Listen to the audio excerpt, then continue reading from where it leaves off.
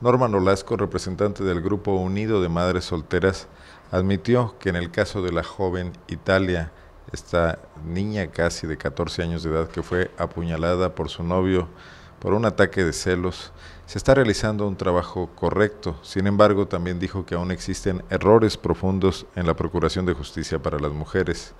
En las agencias del Ministerio Público, al momento que les toman su declaración, no hay una sensibilidad por parte de quien está realizando esta tarea para atender la situación de la violencia que viven las mujeres, dijo la activista.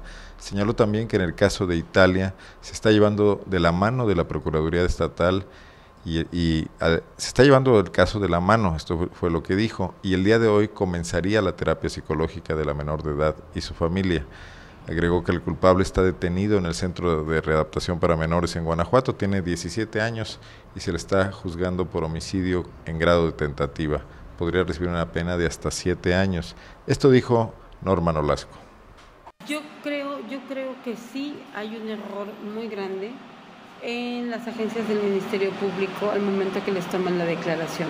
No hay una sensibilidad por parte de quien está tomando la declaración para atender de manera adecuada eh, la situación de violencia que están viviendo las mujeres.